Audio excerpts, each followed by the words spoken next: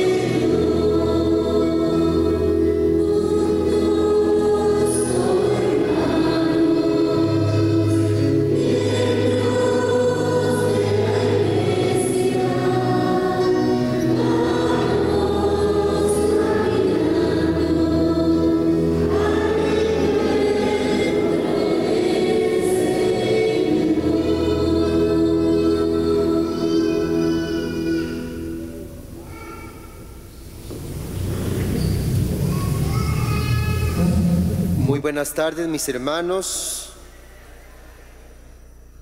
Hoy vamos a hacer una pausa en este tiempo ordinario. Estamos en el séptimo domingo del tiempo ordinario y vamos a interrumpirlo a partir de este domingo. El miércoles 22 de febrero iniciamos la cuaresma. Y así nos vamos a ir por 40 días utilizando eh, en los colores, en la liturgia, en los ornamentos, el color morado. Después de la paz de la cuaresma vamos a empezar el tiempo de Pascua.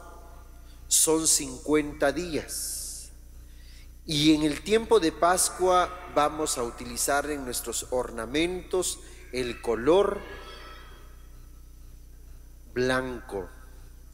Quiere decir 40 más 50 dividido 30, 3. Dentro de tres meses, si Dios nos da vida y licencia, vamos a retomar de nuevo el tiempo ordinario en la octava semana y vamos a seguir con el color verde. ¿Están de acuerdo de que hagamos esa pausa? ¿Qué nos queda? ¿Qué nos queda? Así es de que vamos a celebrar esta Santa Misa y le vamos a pedir al Señor que esos milagros, que esas sanaciones que ha hecho en este primer capítulo del Evangelio de San Marcos también se hagan realidad en nuestras intenciones, en nuestros enfermos, con nuestros familiares. Vamos a pedir en esta Eucaristía por todas las necesidades espirituales y materiales de cada uno de ustedes.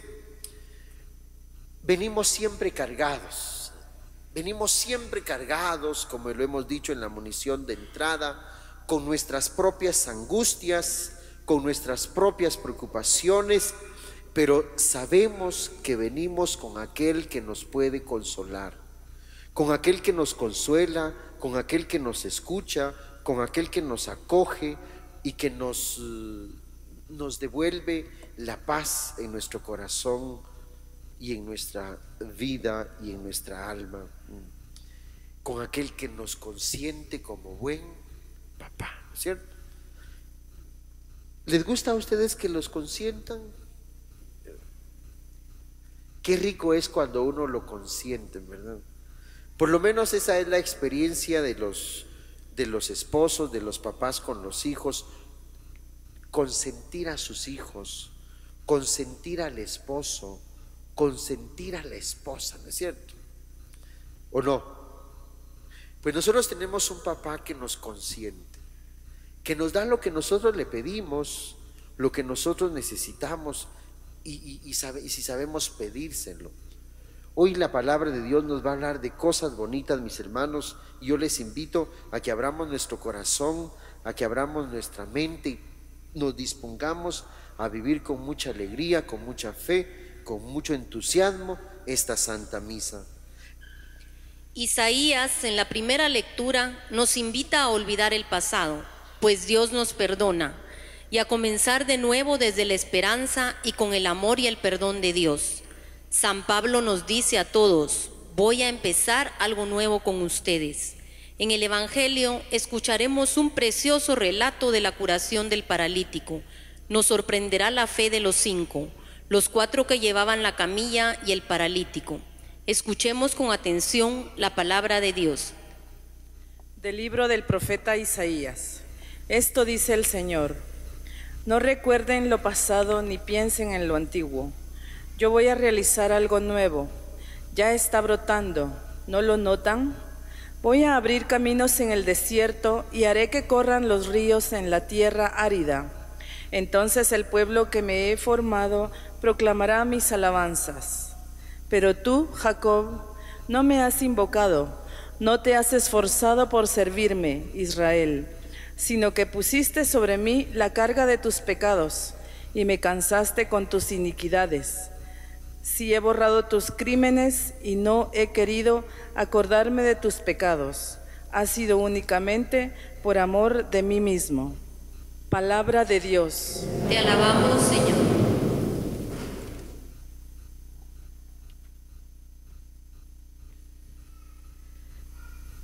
Sáname, Señor, pues he pecado contra ti. Sáname, Señor, pues he pecado contra ti. Dichoso el que cuida de los pobres, en los momentos difíciles lo librará el Señor. Él lo cuidará y defenderá su vida, hará que viva feliz sobre la tierra y no lo entregará al odio de sus enemigos. El Señor lo confortará en el hecho del dolor y calmará sus sufrimientos. Sáname, Señor, pues he pecado contra ti. Apiádate de mí, Señor, te lo suplico Sáname, pues he pecado contra ti. Hazme recordar la salud y vivir en tu amistad toda mi vida. Bendito sea el Señor, Dios de Israel, ahora y siempre. Sáname, Señor, pues he pecado contra ti.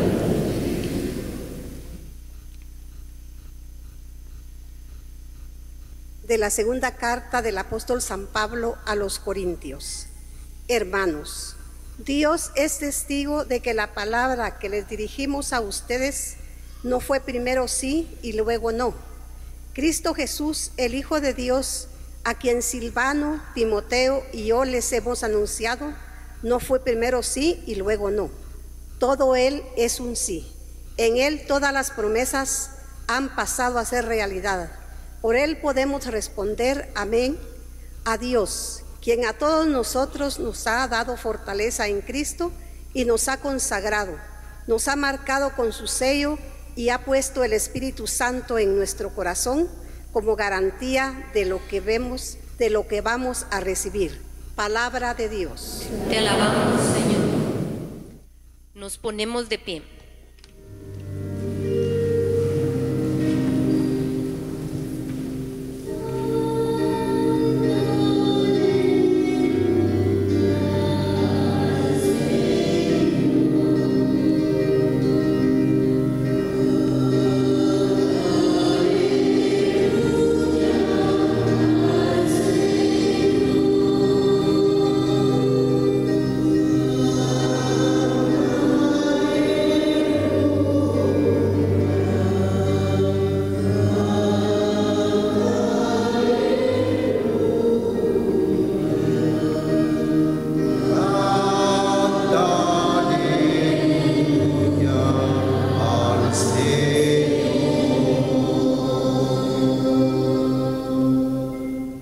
Señor esté con todos ustedes. y con su espíritu. Proclamación del Santo Evangelio según San Marcos.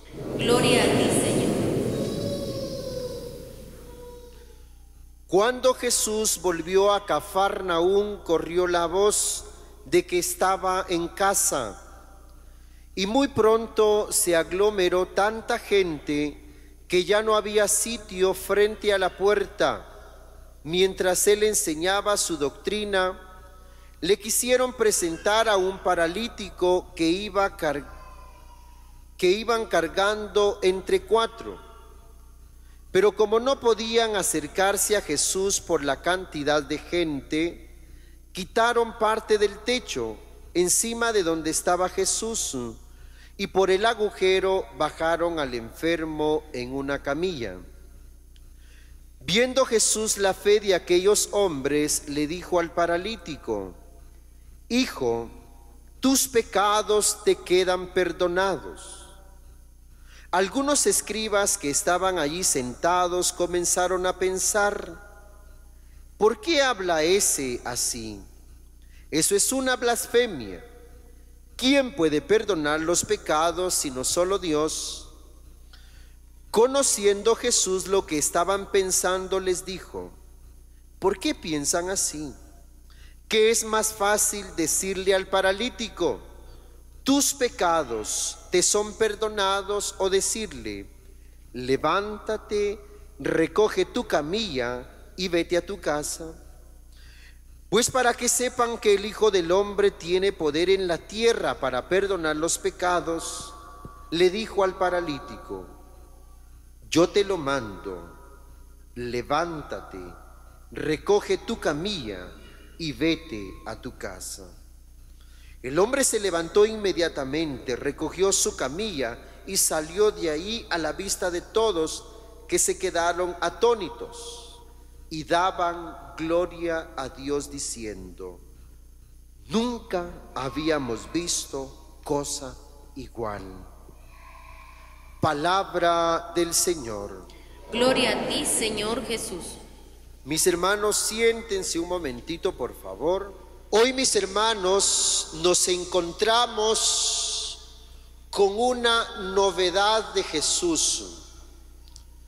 Hemos sido testigos todos nosotros en este primer capítulo del Evangelio de San Marcos.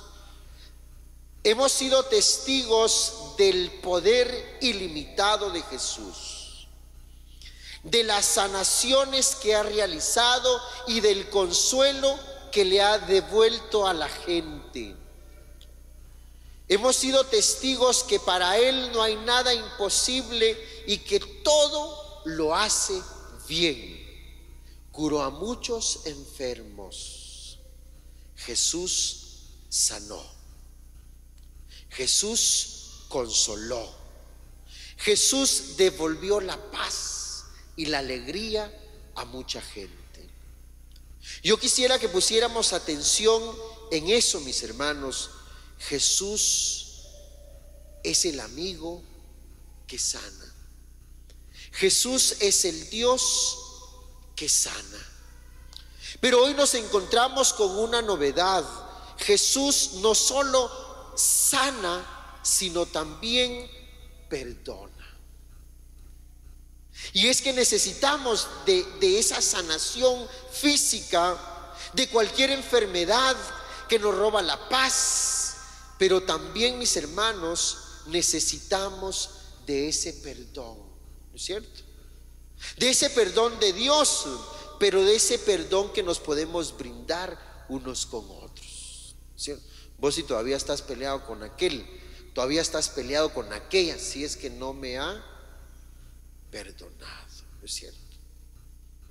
Necesitamos de esa sanación del Señor, pero necesitamos también de ese perdón. Y hoy nos encontramos con un Jesús que sana y perdona. Sana y perdona. No se le olvide, mi hermano. Sana y perdona. La escena es bonita. La escena es bonita, es una escena doméstica, porque todo pasa en una casa, en una casa que está en un lugar que se llama Cafarnaún. En esta casa, mis hermanos, sin duda la casa donde vivía Simón y su hermano Andrés. Allá donde Jesús llegó aquel sábado por la tarde de haber pasado, después de haber pasado durante la mañana en la sinagoga y haber eh, expulsado aquel demonio, hoy Jesús de nuevo llega a una, a una casa. Y en esa casa pasan cosas bonitas. Dentro de la casa estaba Jesús y el olfato de la gente. Dice que la gente se enteró de que Jesús estaba ahí en la casa. Corrió la voz. ¿Qué quiere decir corrió la voz? Corrió el chisme, ¿no es cierto? Corrió la voz, corrió el chisme, pero el chisme bueno. Corrió la voz de que Jesús estaba ahí. ¿Dónde estaba? en la casa, en una casa. Y miren mis hermanos, de repente empezó a salir gente de todas partes, que había gente afuera y adentro de la casa. Y el Señor empezó a hacer lo que sabe hacer, a consolar, a decir palabras bonitas, a animar a la gente, a sanar. Y allá afuera Allá afuera a la distancia, un enfermo, un paralítico. Qué triste, vamos ver. Porque todos estaban lo más cerca que podían de Jesús, pero aquel hombre que estaba paralítico no podía. No podía, ¿no es cierto? No podía. Estaba atado, se podía mover. Pero tenía unos amigos buenos ustedes. ¿Cuántos amigos tenía? ¿Cuántos amigos tenían? Cuatro amigos. Y dice, lo cargaron en una camilla. Me imagino que como era, como que fuera proces, la, infantil, así lo llevaban. Llevaban, llevaban a aquel hombre en sus hombros. ¿Y qué fue con lo primero que se encontraron? Con un mundo de gente lo bajaron. ¿Sabes qué vamos a esperar de que baje la cola? Y después pasamos a consulta con, con el doctor. Tal vez nos atiende. ¿Qué hicieron? Se abrieron, se abrieron paso. Todavía tuvieron otro obstáculo. No pudieron entrar a la casa. ¿Y qué hicieron, mis hermanos? se subieron al techo, llegaron hasta donde estaba Jesús y abrieron un, un boquete, movieron unas, unas láminas, unas tejas y bajaron a Jesús y bajaron al paralítico. ¿Hasta dónde lo bajaron? Hasta donde estaba Jesús. Lo pusieron frente a Jesús. ¿Y saben cómo dijeron aquellos hombres? Misión cumplida. Nosotros llegamos hasta aquí. Nosotros ya te hicimos la campaña, ya hicimos lo nuestro, es, hicimos lo que estaba de nuestra parte, te llevamos hasta donde está Jesús, ¿no es cierto? Y ahí ya depende de vos y de ahí ya depende de, de Jesús. Bonito, ¿va, mis hermanos? Esos amigos se los recomiendo. Amigos que te lleven donde está Jesús. Yo les digo esto porque algunas veces tenemos amigos que nos llevan a otro lado, pero no donde está Jesús. ¿Ustedes saben a dónde van sus hijos en la noche? Es que se fue con un amiguito, se fue con un su amigo, ya va a regresar. Son las 12, la una de la mañana y no regresa. ¿A dónde lo llevó? ¿A dónde lo llevó? ¿A dónde lo llevó? Ojo, ojo con sus hijos, ojo con sus hijos. Es que se, se lo llevó un amigo a tomar a otro lugar. Los amigos buenos son los amigos que te llevan donde está, donde está Jesús. Pregúntate de tus amigos a dónde te llevan. Vos venite, hombre, va a estar bueno. Vamos, hombre. Pedile permiso a tu papá. No, es que ese mi viejo no me da vos. Ese mi viejo no me da permisos. Tal vez mi vieja sí, dice la señora. Así, así hablan los patojos o no hablan así. Tal vez mi vieja sí. Decirle, decirle que vamos a ir a una misa. ¿A dónde van los patojos? ¿Qué hacen? ¿Qué hacen? ¿A dónde van? Los amigos buenos son aquellos que te llevan donde está, donde está Jesús. ¿Dónde está? Y miren mis hermanos, ahí en un, mano a mano, Jesús y aquel hombre necesitado, un hombre, que, un hombre que lo tenía todo, que era toda bondad, que salía de él toda clase de poder para poder sanar a aquel paralítico que estaba ahí y los fariseos pendientes de lo que hacía Jesús. Cuando Jesús vio a aquel hombre, dijo, este, además de estar enfermo, está en, en pecado. ¿No es cierto? Este, además de estar paralítico, necesita una buena confesión porque está en, en pecado. Y entonces tus pecados te quedan perdonados. ¿Y qué dijeron los demás? Está cometiendo una blasfemia, porque solo Dios puede perdonar los pecados. Qué triste lo de esta gente. ¿Saben por qué? Qué triste porque ellos también habían sido testigos de las curaciones de Jesús, de los milagros de Jesús, pero no querían reconocerlo. Mm, es cierto, solo Dios puede perdonar los pecados, pero Jesús, ¿quién es? Dios, es cierto, es Dios. Pero para que vean que el Hijo de Dios tiene poder, levántate, toma tu camilla y vete a tu casa. Lo sanó y lo perdonó. ¿Se comprende, mis hermanos? Y eso es lo que el Señor quiere hacer contigo sanarte y perdonarte de todos tus pecados. Fíjense que en la primera lectura, no San Pablo, como decía en la munición, sino Isaías dice, voy a empezar algo nuevo con ustedes. Voy a empezar algo nuevo con ustedes. Quiero que te olvides de tu pasado. Quiero que ya no estés recordando lo antiguo, porque ya lo que pasó, ya pasó, ya no puedes hacer absolutamente nada. Yo sé que me has fallado, yo sé que has pecado, yo sé que, que, que me has dado la espalda, pero yo quiero darte una nueva oportunidad.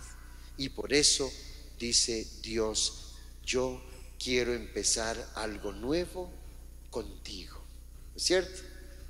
Cierre sus ojos, cierre sus ojos y escuche al Señor que le dice a través de esta palabra, yo quiero empezar algo nuevo contigo. Eso se llama oportunidad. Esa oportunidad que Dios nos da de empezar algo nuevo con, con nosotros. ¿Es cierto? Este tiempo, mis hermanos, que estamos por empezar, este día es para que reconozcamos que el Señor quiere hacernos una propuesta, quiere hacernos un trato, quiere empezar algo nuevo con nosotros. ¿No es cierto? ¿Les gustaría, mis hermanos, les gustaría que el Señor empezara algo nuevo con ustedes? ¿Sí o no? Más o menos, ¿verdad? ¿Les gustaría, mis hermanos, que el Señor empezara a realizar algo nuevo en ustedes? Claro, claro. San Pablo lo dice con estas palabras, dejar el hombre viejo y revestirse del hombre nuevo. Ya no quiero, ya no quiero, quiero tirar esa camilla, quiero tirar eso que me ata, esa parálisis y quiero empezar una vida nueva. Quiero ser distinto. Aquel hombre que era paralítico cuando salió de aquella casa, ¿por dónde, por dónde entró? ¿Por dónde entró a la casa? ¿Y por dónde salió? Por la, o sea, ya, ya salió de una manera más decente, ¿no es cierto? ya salió de una manera más decente y el Señor quiere que tú también salgas de una manera más decente, ¿no es cierto? Que salgas con tu camilla en las manos y decir, esta camilla ya no me causa ningún problema ni me va a causar ningún problema porque ella ya no me domina. Ahora yo la domino a ella, ¿no es cierto? Y la tiro y me deshago de ella porque lo único que sirvió, me sirvió fue para estar atado, ¿no es cierto? Ojalá mis hermanos que cuando salgamos de acá tiremos esa camilla que lo único que nos ha hecho es estar paralíticos espiritualmente, ¿no es cierto? Jesús quiere empezar algo nuevo con cada uno de nosotros, con el esposo, con la esposa, con los patojos. En tu familia Jesús quiere empezar también algo nuevo. ¿O no? Levanten la mano, porque así por lo menos veo las manos, levanten la mano aquellas personas que desean que Jesús empiece algo nuevo en ustedes.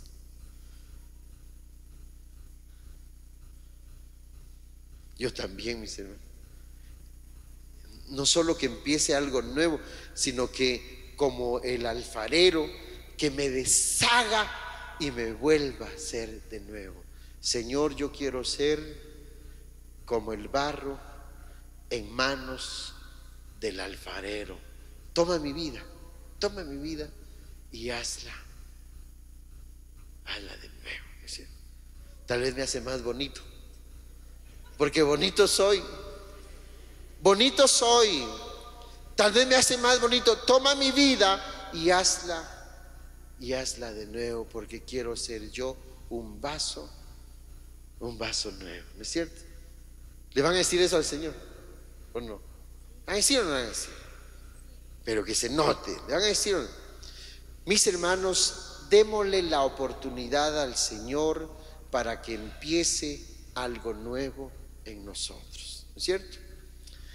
Quiero terminar con este pensamiento. Yo quiero empezar algo nuevo también, allá en la colonia el hermano Pedro. Pero estoy nada más en el intento, nada más en el quiero empezar algo nuevo. Yo quiero empezar algo nuevo allá en la colonia el hermano Pedro, pero necesito de la ayuda de ustedes. Uno más uno, dos. Dos más dos, cuatro. Si nos unimos, si nos unimos, yo estoy seguro que vamos a alcanzar la meta. ¿Mm? Yo estoy seguro que vamos a alcanzar la meta. ¿Qué fecha nos pusimos como límite? El miércoles de ceniza. Les cuento cuánto llevamos. Llevamos 25 mil quetzales. Llevamos 25 mil quetzales a 20 familias. Quiere decir que algunas familias han dado más de uno, han dado dos o han dado tres. Y si yo cuento ahora con la ayuda y el apoyo de ustedes, yo estoy seguro que vamos a llegar a la meta, pero nos hace falta mucho, ¿no es cierto? Son 150 mil quetzales que necesitamos reunir. Y llevamos 25 mil quetzales. ¿De acuerdo? Nos hace falta cuánto?